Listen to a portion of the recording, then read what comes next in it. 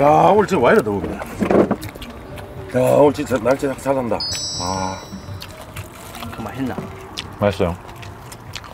이거는 무슨 말인지 이거 이거 베스툴인데 안에 안 건쳐주는 형, 형 빨리 촬영하러 가요. 이제 형 차례요. 한번 하라 이거 그만 먹고 형다 먹을라 좀 더운데 못 나가. 가요. 여기서 못 더울 때는. 한번 시원하게 하고 더울 땐 이거 먹고 응. 배고플 땐 이거 먹고 아 갔다 맞네. 온다. 안녕하십니까 몽키텐스의 블루몽키입니다. 자 제가 오늘 여러분들에게 알려드릴 주제는 거리 조절에 왜 실패를 하는가.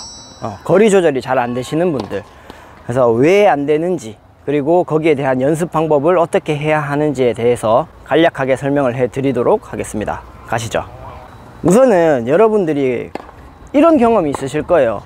공이 빠져서 따라가다 보니 갑작스럽게 공이 가까워져서 오! 몸쪽에서 치는 상황 혹은 내가 거리가 맞는 줄 알고 공을 잡았는데 생각보다 멀어서 어 엉덩이가 빠지는 이런 상황이 한 번쯤은 경험이 있으실 거라고 생각을 합니다. 원인은 바로 내 리치를 알아라.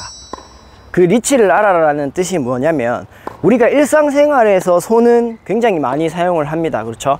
그러다 보니까 어, 내가 어떤 물건을 봤을 때 저거는 내가 굳이 가지 않아도 손만 뻗으면 닿이는 거리다 거리지 않, 거리이지 않다 라는 게 분명하게 판단이 돼요.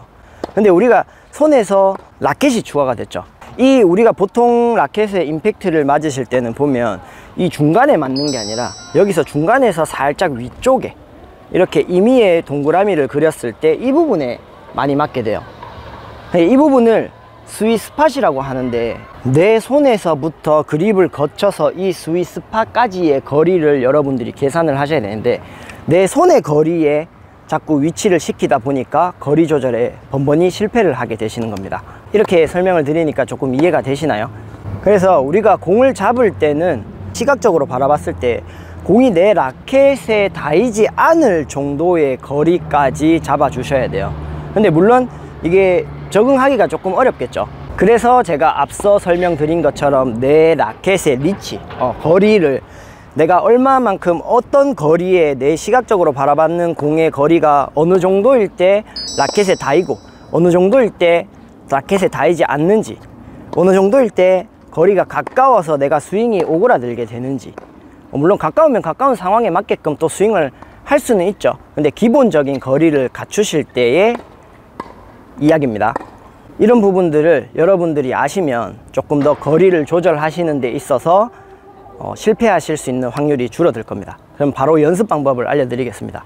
자, 연습 방법은 우선은 우리 뭐 레슨을 받거나 쉬거나 레슨을 받고 난 후에 연습을 하시죠. 연습을 하실 때 이렇게 공통을 가지고 포인트를 연습을 하실 때 내가 가까운 곳부터 어, 그리고 내 라켓에 닿이지 않는 곳까지를 자꾸 공을 공의 단계별로 조금씩 멀리 두시면서 포인트를 연습을 해 보시는 거예요.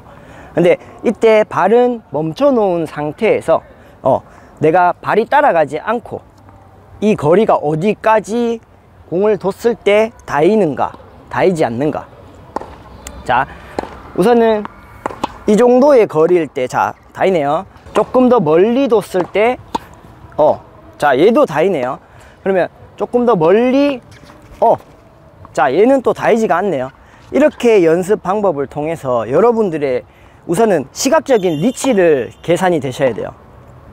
그래서 내가 어디까지의 공이 닿이는가 닿이지 않는가 이게 중요한 팩트입니다. 이렇게 연습을 하시다 보면 어 내가 시각적으로 바라봤을 때 생각보다 굉장히 먼데 이게 또 라켓에 닿여요. 거리가 어느 정도 멀어지게 되면 오히려 스윙을 휘두르기가 훨씬 편해집니다 뭐 일정 이상을 더 넘어가게 되면 스윙을 휘두르는 게 어려워서 뭐 reverse 포핸드라든지 이런 걸로 처리할 수 있을 수 있지만 기본적으로 바라봤을 때 오 생각보다 먼데도 이건 내 라켓에 닿이지 않을 것 같은데도 닿이는 현상이 생기실 거예요. 그게 여러분들이 기본적으로 놔야 하는 리치입니다. 그리고 이제 이 리치가 어느 정도 판단이 되셨으면 공을 쳐 보시는 거예요. 어, 그 내가 앞서 내 라켓에 어디까지 닿였던 부분을 생각하시면서 그러시면 여러분들이 공이 빠지셨을 때 조금 더 덜 따라가게 되실 거예요 어, 내가 기존에는 생각보다 굉장히 멀리 빠져서 많이 뛰어가야 되겠다라고 생각했던 것들이 조금만 움직이게 되면 닿인다라는 판단이 내려지실 겁니다. 이게 여러분들의 리치가 어느 정도 내 몸에 있게 되는 거겠죠.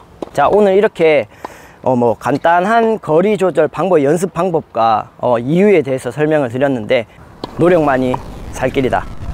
노력을 하셔서 여러분들도 이 거리에 대한 내 범위에 대한 부분들을 빨리 파악하시기를 바라겠습니다.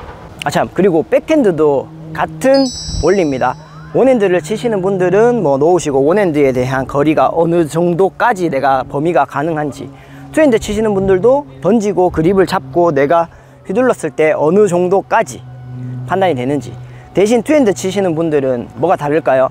one hand 포핸드는 한 손이지만 백핸드 같은 경우에 양손이죠 two hand는 그러다 보니까 범위가 제약이 걸리게 돼요 그래도 내 시각적으로 바라보는 거리에서 어느 정도는 멀어지셔야 스윙을 휘두를 수 있는 공간이 되신다는 거.